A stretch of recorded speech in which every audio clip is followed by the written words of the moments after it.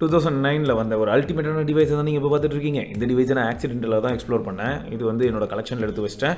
இன்டர்னலாக பார்த்தீங்கன்னா கண்டிஷன் வந்து சூப்பராக இருக்குது செம்ம மின்ட் ஸ்டேட்டு நான் தான் ஒரு ஒரு பேப்பரையும் பிரித்தேன் அண்ட் அது மட்டும் இல்லாமல் எக்ஸ்டர்னலாக பார்த்தீங்கன்னா அந்தளவுக்குலாம் இல்லை. இருந்தாலும் இந்த ஃபோனை வந்து மிஸ் பண்ணிட முடியுமா? வாய்ப்பே இல்லை.